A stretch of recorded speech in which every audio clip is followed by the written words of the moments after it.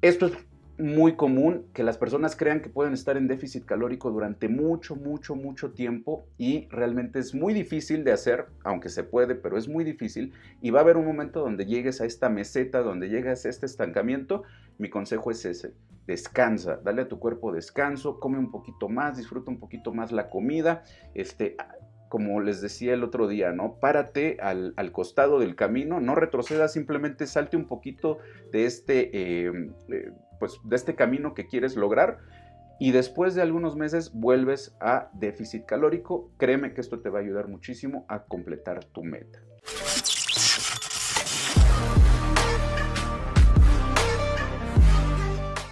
Eh, no sé si a ustedes les ha pasado, tengo varios alumnos que me contactan eh, preguntándome por qué después de algún tiempo de que han estado bajando, se estancan, llegan a la famosa meseta, se espantan porque eh, pues estuvieron bajando muy rápido o estuvieron subiendo de peso muy bien al, inicio y de repente llega un momento donde ya no hay cambios aparentes, ahorita vamos a tocar eso, eh, vamos a ver si realmente si es que están estancados o no y en caso de que sí estén estancados, que es algo normal, natural, esto lo deben de recordar. Recuerden que aunque nos vendan la idea de que esto es un progreso continuo y constante, realmente eh, va a haber momentos donde nuestro cuerpo nos pida literal un pequeño descanso. Ahorita vamos a tocar ese tema. Y no está mal, al contrario, como siempre les trato de decir, no son carreras, es un estilo de vida. Ya sé que todos quieren estar eh, en excelente forma, en excelente condición y quisieran que pues, el, progreso fuera constante, constante, constante. Pero no es así, no siempre va a ser así.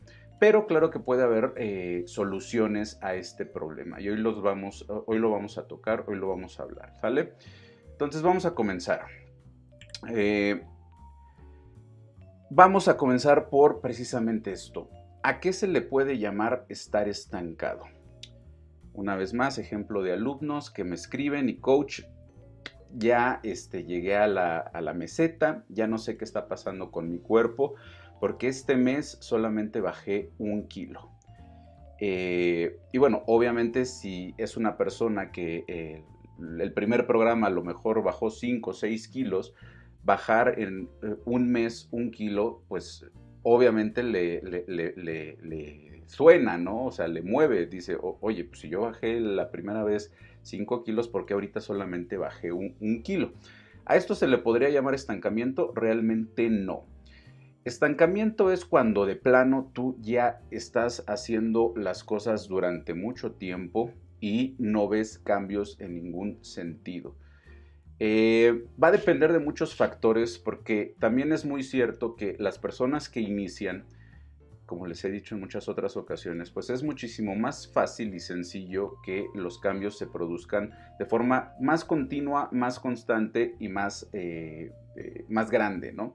Las personas que ya llevan mucho tiempo haciendo ejercicio, los cambios son más lentos. Y aquí entramos a otro punto, ¿no? no por el hecho de no estar viendo cambios constantes como los tenías al principio, quiere decir que estás estancado.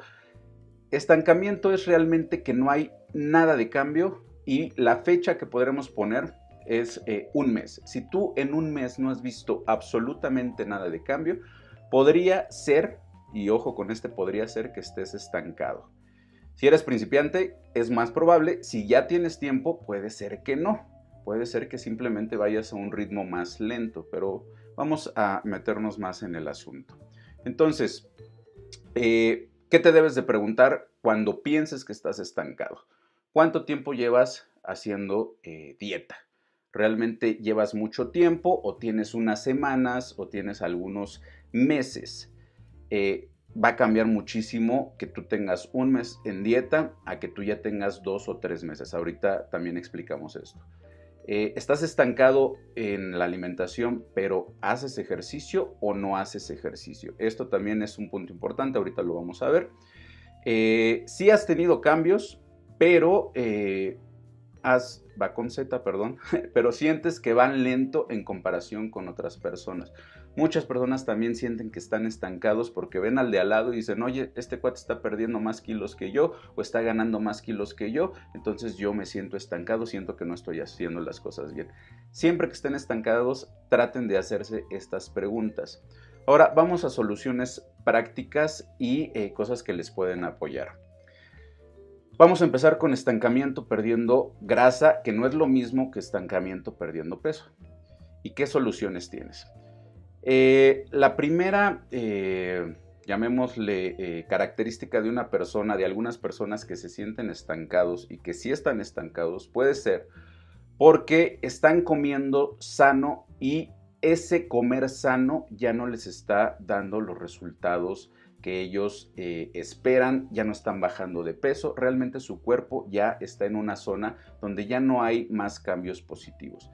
Y es que eh, como les he dicho, comer sano no es lo mismo que comer lo adecuado para lo que tú eh, quieres lograr, en este caso perder peso.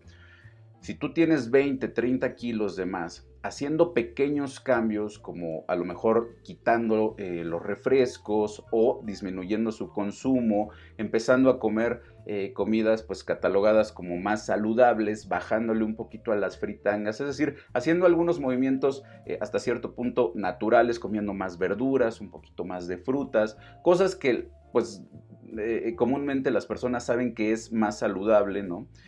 Puedes tener avances eh, rápidos, sobre todo, repito, si tu sobrepeso es, es, es grande.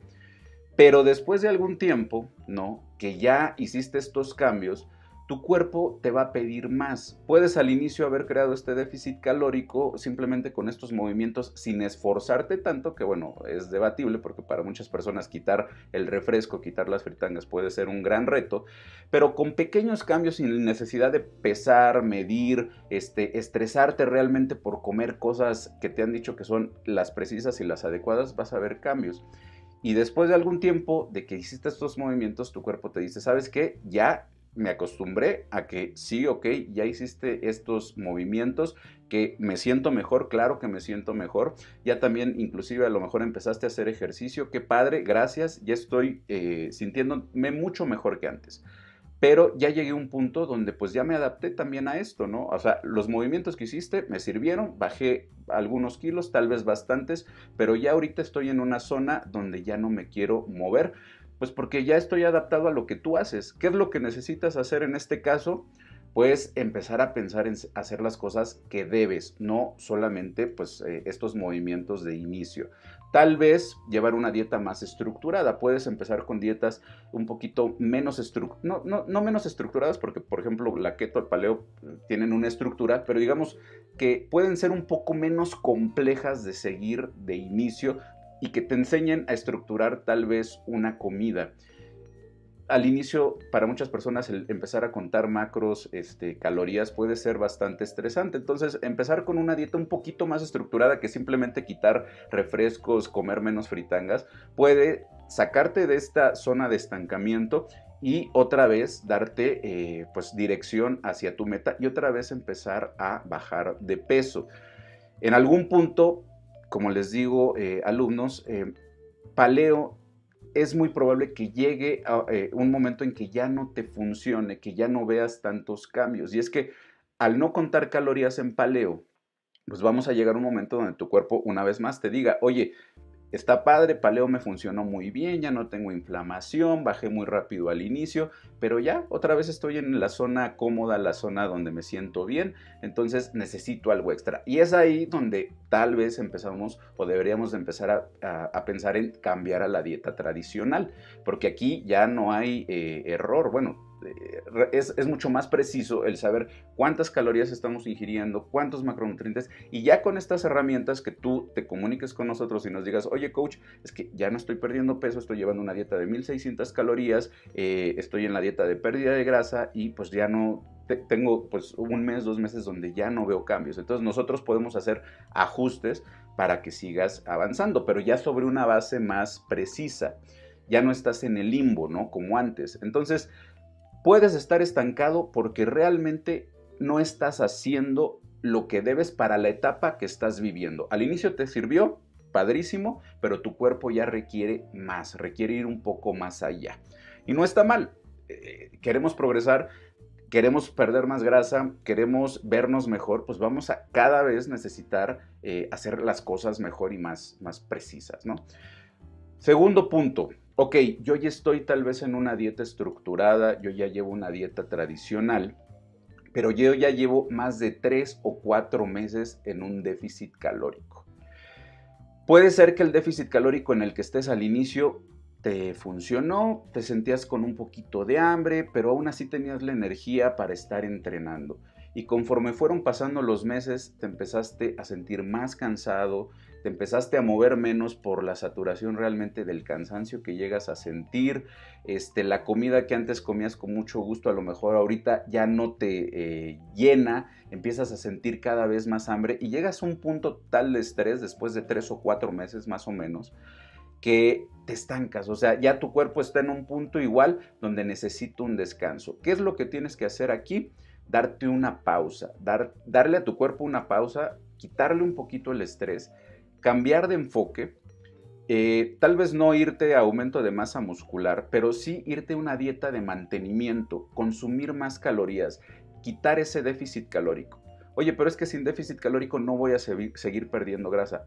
De momento, no, con la dieta de mantenimiento vas a estar consumiendo las mismas calorías que, gastas, pero esto le va a ayudar a tu cuerpo, le va a ayudar a tu cuerpo a quitarse el estrés, vas a empezar a sentir otra vez más energía, menos hambre, a disfrutar otra vez lo que estás haciendo, enfócate en el gimnasio, en trabajar otra vez duro en el gimnasio, este, crear un poquito, si se puede, de masa muscular, si no tener por lo menos ese enfoque, y ya después de cuánto tiempo, puede ser un mes, dos meses, inclusive te puede llevar el mismo tiempo, otros tres meses estar en esta dieta de mantenimiento, vuelves otra vez a intentar el déficit calórico y créeme que tu cuerpo otra vez va a volver a reaccionar.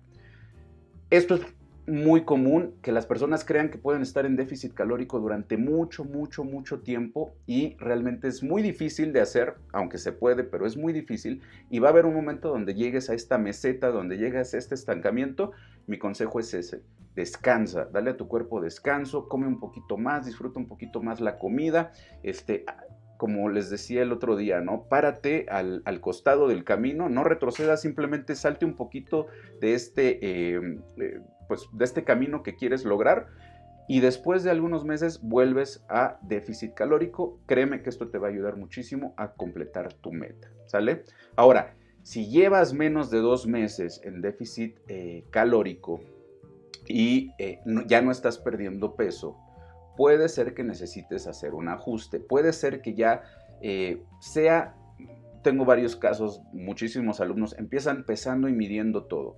Y de repente, pues ya se adaptaron, que no está mal, pero pues ya no pesan tal vez su comida, ya eh, no son tan sinceros y no es que quieran mentir, sino que al inicio como que estaban muy... Eh, pues eh, al, pendiente de no comer nada que no fuera eh, de su dieta, de, llevar realmente el, plan alimenticio como era. Y cuando ya tuvieron cambios y después de algún periodo, pues ya pico a lo mejor una galletita por acá, ya, ay, bueno, son unas calorías, ya a lo mejor este, como los fines de semana una comida este, fuera del, plan. Eh, digo, esto no es que esté mal, pero a lo mejor, repito, aflojan un poquito el paso. Entonces, si tienes menos de dos meses, yo lo que te recomiendo es que vuelvas a medir, por lo menos en papel, si realmente estás llevando la dieta. Porque esto es muy común, ¿no? No estoy bajando y estoy llevando la dieta. A ver, les pido que empiecen a anotar todo lo que comen, todo. Y ahí es donde salen estos eh, pues eh, pellizquitos, estas faltas que al inicio no se daban porque estaban muy bien enfocados en su objetivo. Y como ya después de algún tiempo tuvieron los cambios y se acostumbraron, ah, bueno, yo ya soy un máster en pesar, yo ya sé cuántas calorías, yo ya sé cuántas porciones, aflojan un poquito y esto pues los lleva con estos eh, sobre eh, consumiendo estas calorías de más pues a otra vez tal vez no estar en, déficit calórico y se estanca no entonces si tienes más de tres o cuatro meses eh, dar un paso a un costado. Si tienes menos de dos meses en la dieta y no estás cambiando, analizar si realmente estás llevando la dieta. Y si sí estás llevando bien la dieta, pues simplemente hay que hacer un ajuste, ¿no? Para eso nos tienen a nosotros, las nutriólogas. Oye, Lupita, oye, Miri, ya no estoy perdiendo peso, llevo un mes este, qué podemos hacer, ¿no? Y es ahí donde entra el ajuste, pero en este punto todavía no están saturados de, estar en, esta dieta eh, de déficit calórico. Esto también eh, no es una regla general, va a depender muchísimo de qué tan agresivo hagas la dieta. No es lo mismo quitar 500, 600 calorías de, de, tu dieta y tener un déficit de 600 calorías que solamente tener un déficit de 100 calorías. Como lo he dicho en otras ocasiones, a veces pensamos que quitando más vamos a perder más y es cierto, pero va a durar menos porque vamos a sentir más cansancio, más hambre, nos va a hartar más rápido esta dieta. En cambio, con un déficit calórico más moderado, más ligero, pues vamos a poder sostenerlo durante más tiempo. El proceso va a ser más lento, pero lo vamos a poder sostener por más tiempo, ¿sale? Y último punto, si no has bajado de peso, pero sí de medidas. Todavía muchas personas se enfocan muchísimo en, eh, en, la báscula. Y no es que esté mal, es un parámetro de qué tan bien vas. Pero eh, recuerda que nosotros lo que estamos haciendo también es tratando de construir músculo. Aunque estemos en déficit, algunas personas lo lograrán, sobre todo si son novatos. Algunas personas no lo lograrán, pero podrán mantener más masa muscular. Pero algunas personas sí logran construir eh, músculo, ¿no? Entonces, pierdes grasa, aumentas músculo y la báscula no se mueve. Hoy estoy estancado, llevo dos meses eh, con el mismo peso. Pero, ¿qué tal tus medidas? Es por eso que les mido sus fotos, sus medidas. Oye, no, pues en las medidas sí noto que he bajado de tallas, eh, la circunferencia este, de mi cadera ha bajado, la circunferencia de mi, cintura también, este, me siento mejor, mi ropa me queda mejor. Ah, ok, pesas lo mismo, pero has aumentado masa muscular, más muscular y has perdido grasa. Entonces, no es que estés estancado, simplemente te estás volviendo más fitness. Eh, sigues perdiendo grasa, estás ganando músculo y esto está perfecto, ¿no? Porque más adelante también te va a ayudar. Entonces, se me ocurrieron todos estos eh, tipos de estancamiento, todos este tipo de, comunicaciones que ustedes o, mensajes que ustedes me dan donde me dicen es que estoy estancado y la mayoría de las veces, el 99% es esto, es donde lo evaluamos y pues ya les comunicamos lo que necesitan hacer, ¿no? Eh, si eres alumno mío y estás o te sientes estancado, pues lo más fácil es que nos envíes mensajes. Si no eres alumno mío, pues esto es lo que debes de evaluar y hacer. Ahora vámonos con el eh, otro, eh, con, con el lado opuesto, ¿no? Estoy estancado ganando masa muscular. Bueno, empezamos igual de lo simple, el como mucho, ¿no? Yo recuerdo que eh, cuando empecé a hacer ejercicio a los 21 años pesaba 62 kilos, mido 1,75 y no llevé dieta, simplemente me puse a hacer ejercicio, mi cuerpo me pidió más comida eh, y aumenté 10 kilos, 11 kilos el primer año, sin llevar una dieta con conteo calórico ni nada, ¿no? Mi cuerpo respondió súper bien.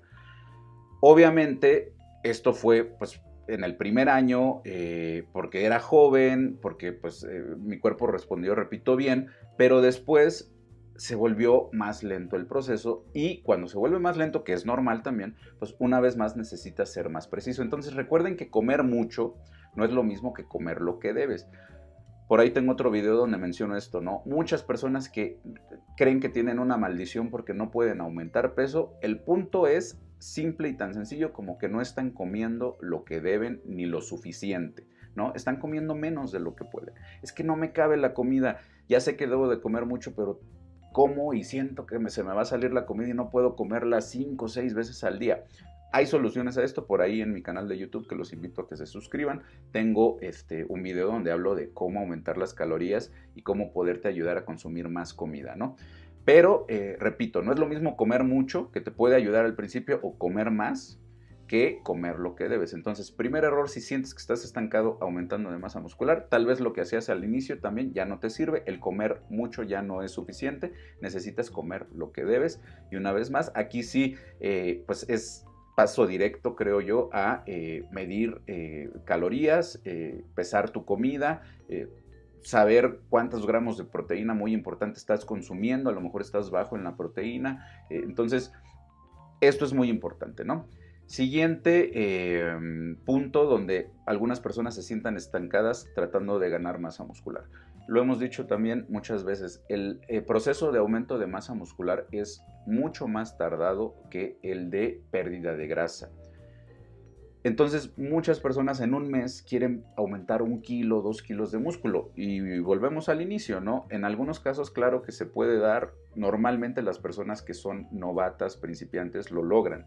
Pero una persona que ya lleva dos, tres años entrenando, aumentar de peso es un reto total. Entonces, un mes entrenando, llevando una dieta con un superplus calórico, que eh, es lo recomendable cuando quieres aumentar de músculo, eh, obviamente sabiéndolo hacer bien, tal vez no es un tiempo suficiente para decir que estás estancado. Simplemente necesitas más tiempo. No te desesperes, sigue haciendo lo mismo. Ahora, ya llevas más de dos meses en un superplus calórico y no has aumentado nada, ahora sí, hay que ver una vez más qué es lo que está pasando. Si estás cumpliendo con el número de calorías, si la respuesta es sí, estoy llevando un control súper estricto de todo lo que como, ok, tu cuerpo, tu metabolismo está más acelerado, necesitamos aumentar la cantidad de comida algunas calorías extra. Este, ya eh, las nutriólogas les dirán qué, es la proporción que, deben de subir.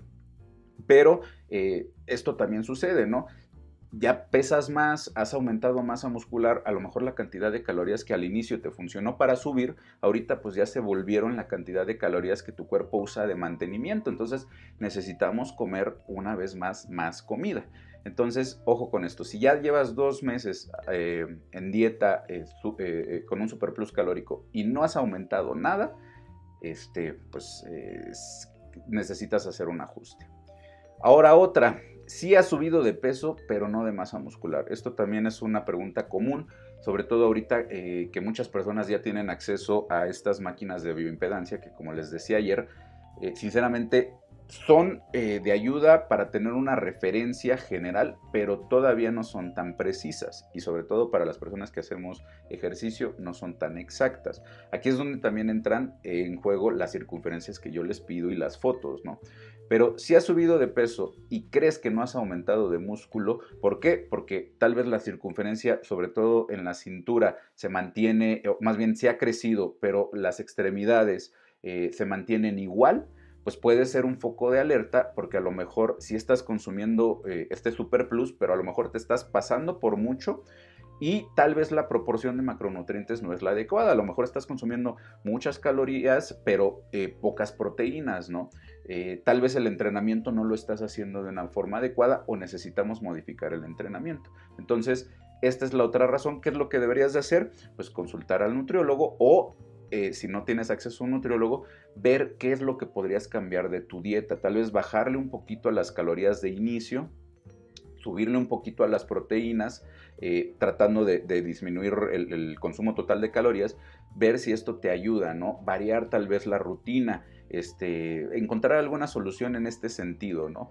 Pero eh, suele pasar también de que sí están aumentando de peso, pero lo que están aumentando eh, parece ser que es grasa. Pero te debes de asegurar, sobre todo con estas referencias, que aunque no sean mis alumnos, creo que es muy importante que mes con mes se estén pesando y midiendo y tomando fotos para saber qué es lo que pueden arreglar. Y si pueden llevar un diario de lo que hacen, de lo que comen, es perfecto. Muchas veces estos diarios son literal como nuestro libro de experimentos de ver, ah, miren, en esta época estaba comiendo así, tenía esta proporción de, de, este, de macronutrientes, comía más proteína, este, hacía más veces ejercicio, dividía así mi rutina y me funcionó muy bien. Entonces, si pueden llevar un traqueo de todo lo que están o todo lo que han hecho desde que iniciaron, estaría genial y excelente porque puede ser de mucha ayuda para más adelante.